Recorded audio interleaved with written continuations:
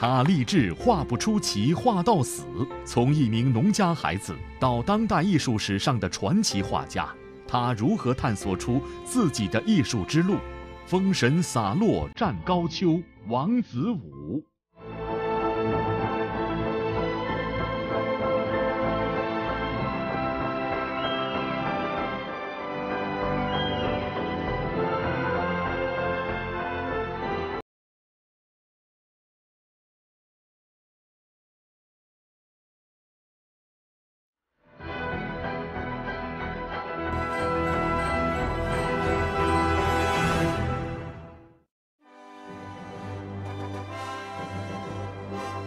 二零二二年十二月八日，在深圳，一场画展开幕的消息发布仅仅几个小时后，就吸引了上千名观众前往观展。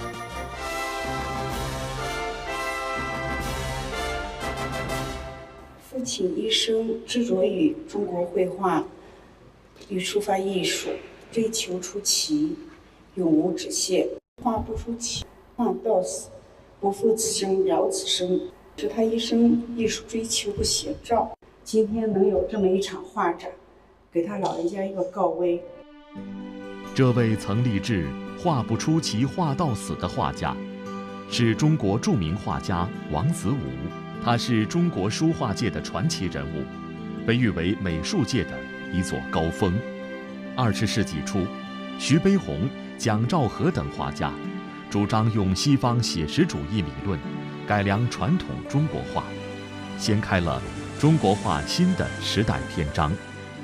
王子武在前辈基础上进一步探索，他不仅秉承现实主义精神，为人民群众绘制了大量画像，并且将西方的素描造型与中国传统笔墨相融合，在平衡西方写实技法。与中国传统文人画的写意方面，达到了新的高度。画坛巨匠蒋兆和生前曾说：“人物画要看王子武，他已超我。”这些部分就是父亲的一些人物画的经典代表作。这是有他的自画像，苏东坡，这是曹雪芹像，这是他的代表作品。这幅是鲁迅的半身像。头悬梁锥刺股，这边主要就是一些花鸟。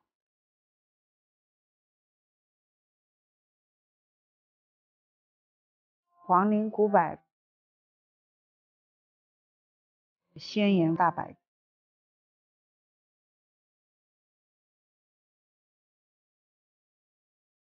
他在这种写实绘画上，等于又给中国人物画树立了。新的一个高度，但是画得好，贡献大。我们画界，尤其在北京文化中心、中央美院都传开，那老教授们，大家就是很欣赏他，就是尤其画中国画这这一批的。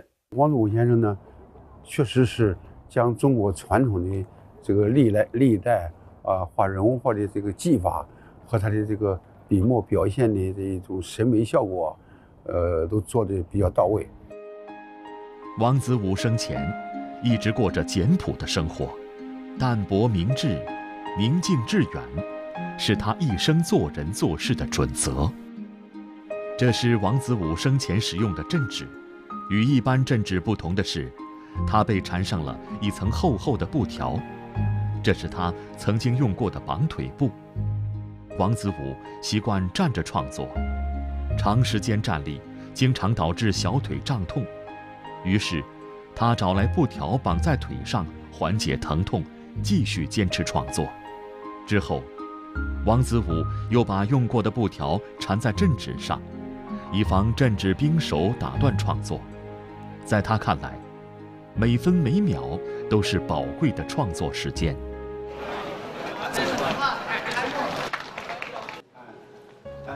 一九九五年，王子武终于决定抽出五天的时间办一次小型画展。这次画展也是王子武生前唯一的一次画展。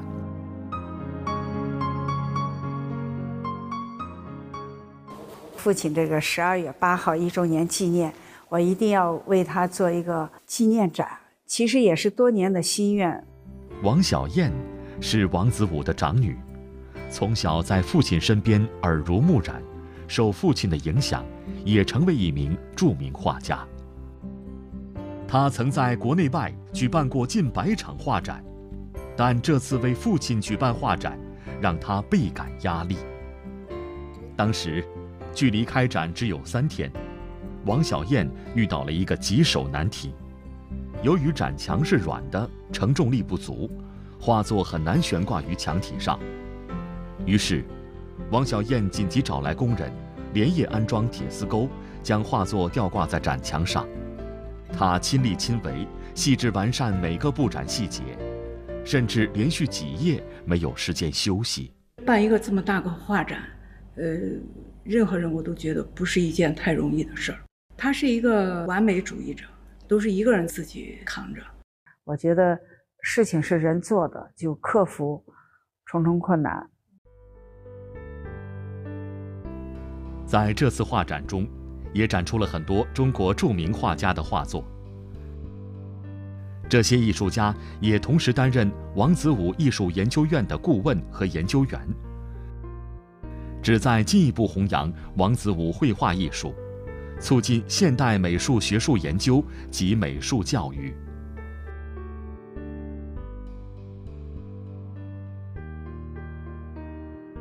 我们研究院的几十幅作品展现给大家，好的作品真的是要分享、要传播、要发扬。四五天吧，才把这个前面的场地给腾出来。那几天的时间把它布置起来，如期的能开始就特别好。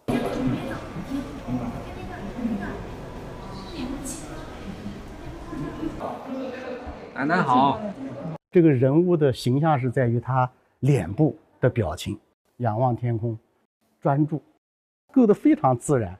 我觉得从我看到的那些作品来看，非常震撼。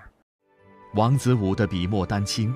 让时光永驻，让形形色色的人物形象鲜活生动，让充满志趣的花鸟鱼虫跃然纸上。王子武是如何创作出这些传神的艺术作品？他又是怎样一步步探索出自己的艺术之路呢？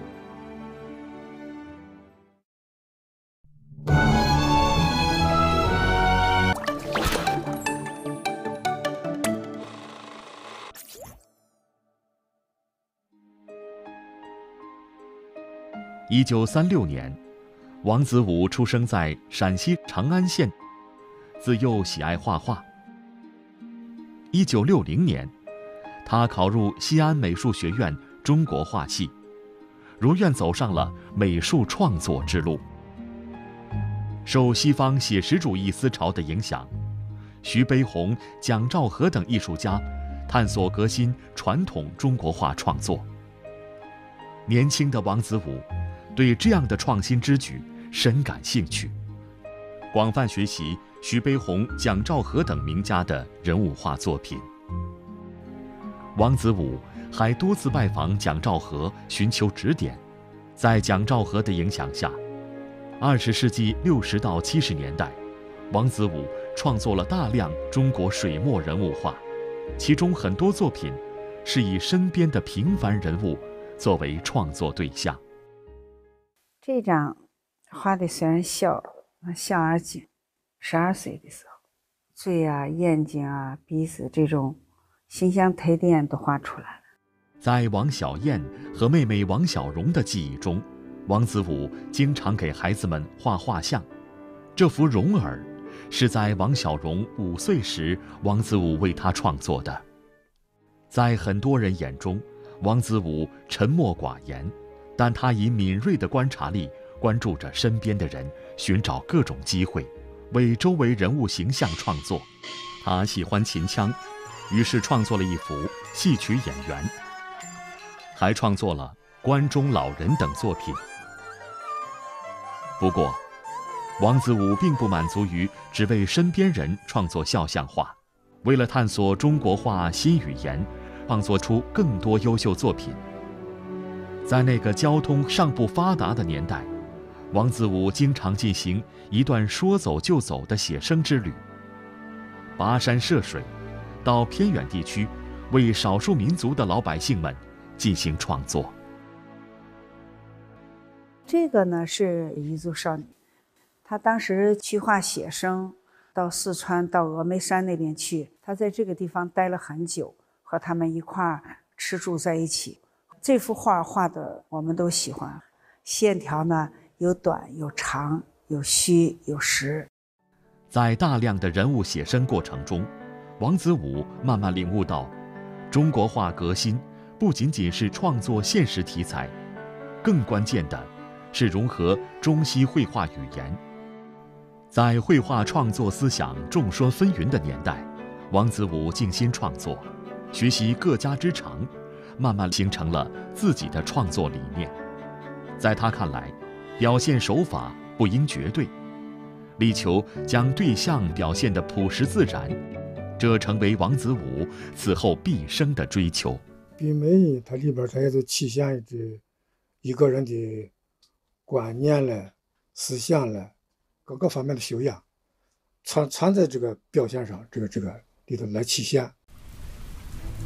然而，就在王子武为了理想不断钻研苦练时，他却遭遇人生重大打击，他被医生确诊患上了严重的肺病。那个时候，他就是拼命的画，一天把自己画的就画不动了，才上床睡觉。七六年，他四十整，他人生最辛苦的时候，他写的这首诗：“惨淡经营愧无能，枉费一时哭无声。画不出奇画到死，不负此生了此生。”这个画他画完以后，他又觉得跟他这个诗是当时自己的写照。在病重的身体难以支撑创作的情况下，王子武。立志出奇的信念能否坚持下去呢？他有时候画画啊咳嗽啊、累啊，家里人都说你就别画了，休息一下。谁也劝不了他想做的事儿，他一定要做。与病重时疲惫的状态截然不同，王子武在画作中刻画的形象精神饱满，飞扬的发丝充满朝气。浓黑的眉毛和眼角阴影的处理，使人物眼神显得有神而坚定。人物形象以洗练的线条勾勒，整体造型简洁稳定，充满力量感。整幅画作表现了王子武将生命奉献给绘画的自信和决心。在身体不适却坚持创作的日子里，当时美术界的一个传闻，让王子武感到担忧。当时有西方人说中国画都比较平面，不够立体，怎么都画不过油画。那听了这句话，他自己就说：“我就不服。”为着这句不服，王子武萌生了一个想法，他要用东西美学观念。兼收并蓄的方式，为自己的画坛偶像齐白石老人创作一幅肖像画。他是喜欢齐白石这个作品，又读了很多他的故事，觉得他很可爱，所以他特别想画。他画了好多幅纯墨画的，还有用纯线的画的侧面的齐白石像。这幅画他画的时候，他说眼神呢是一个立体的。左眼睛和右眼睛这个大小也不一样，眼睛有转动的感觉，鼻子呢要有呼吸的感觉，还有嘴巴有微微动的感觉。脸上已经画得很细，这个身上和帽子，他说就要画虚一点。在中西合璧过程当中，王子武先生呢，在这方面啊，应当来说有独到的境界。白石老人一经推出，就引发了社会的广泛关注。这幅画作有力证明了中国画可以把人物表现得立体传神。白石老人也成为王子武在二十世纪七十年代的经典代表作。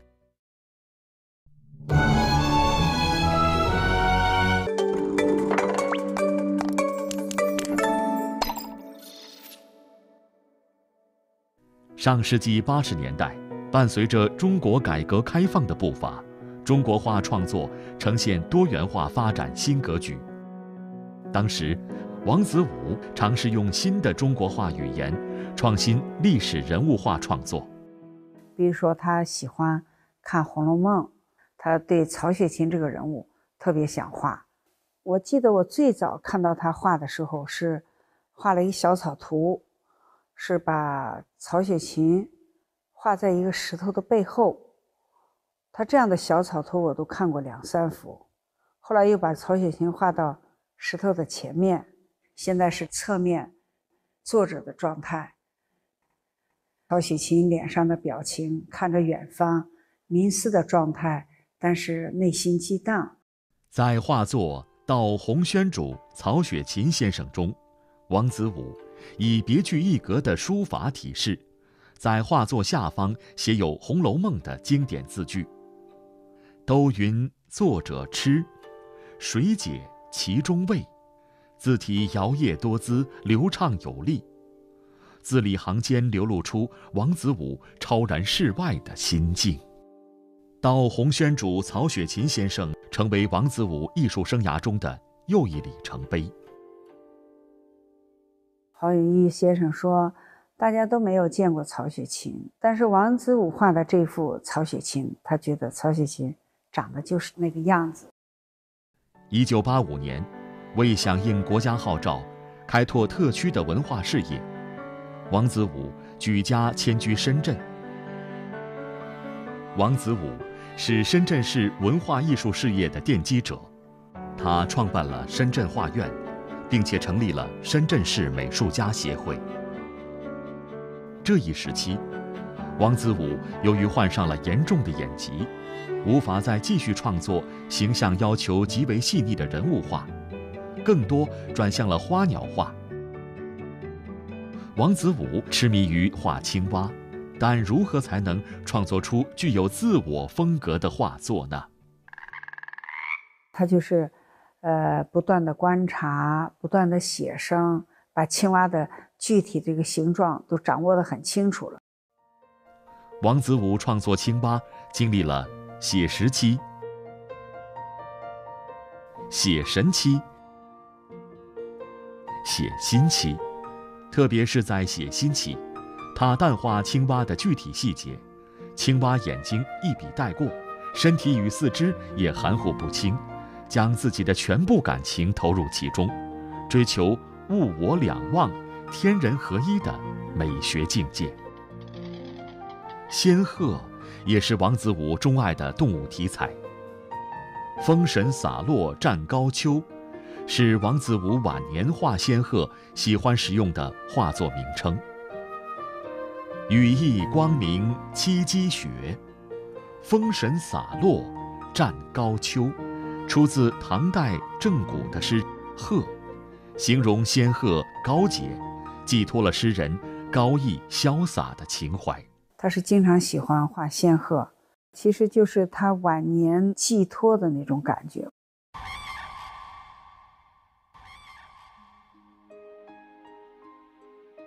绚烂之极归于平淡，王子武淡然处世，用真诚的心感悟艺术的真谛，用一生追求画到出奇的理想。